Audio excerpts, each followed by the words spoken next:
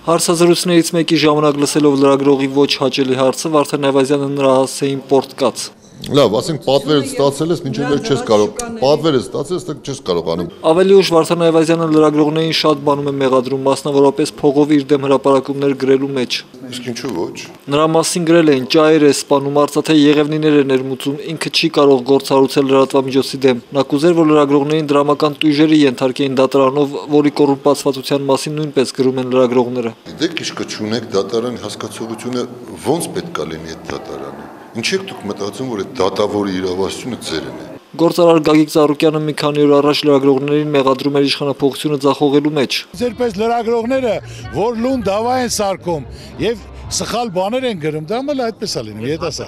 Հարցը պայի քեզ Լրագրողների դերի մասին իր պատկերացումներն ունի տարբեր սկանդալային պատմությունների մեջ շրջանառվող Սյունիքի մարզպետը լավագույն պաշտպանությունը հարցակումն է։ Հերոս ներդստերից։ Է, Ազգային ժողովի նախկին նախագահ Սամվել Նիկոյանը եղել է պաշտպանվողի դերում։ 6 ամիս ազգային ժողովի նախագահ աշխատեցի։ Ես հասկացա, որ